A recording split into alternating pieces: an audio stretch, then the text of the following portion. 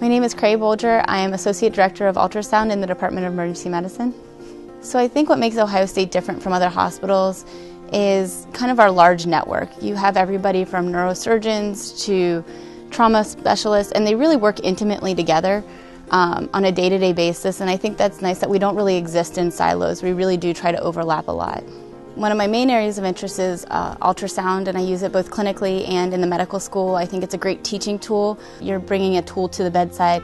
They can see what you're looking at, um, and you can explain their pathology to them without having to bring them to a computer screen and really let them kind of have face-to-face time with the physician as well. My patient care philosophy is very similar to my work philosophy. I really think of it as a team, that the patient needs to be on board with the plan as much as anybody else does and that they really need to be invested in why we're doing what we're doing for them.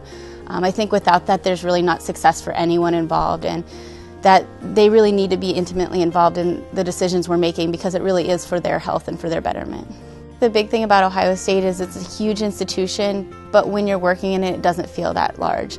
Um, the fact that I know people from pretty much every department in the hospital and know them on a first name basis, know who their kids are, what they're doing, I really think that's what makes Ohio State special is we have all the perks of a big institution, but it really does feel small on a day-to-day -day basis.